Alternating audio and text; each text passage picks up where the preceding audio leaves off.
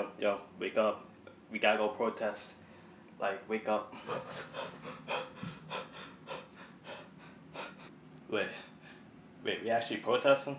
Yeah, about that. Yeah, I was lying.